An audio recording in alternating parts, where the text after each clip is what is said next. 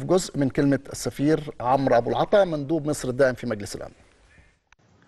فقضية القدس إحدى قضايا الوضع النهائي لتسوية القضية الفلسطينية سلميا عبر التفاوض بين الجانبين الفلسطيني والإسرائيلي.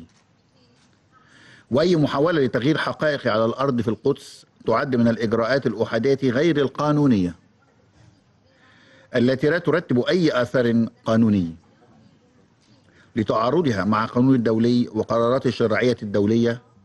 بما في ذلك قرار الجمعية العامة رقم 181 لعام 1947 الذي أنشأ دولتين فلسطين وإسرائيل واعتبر مدينة القدس هي كيان منفصل يخضع لنظام دولي خاص.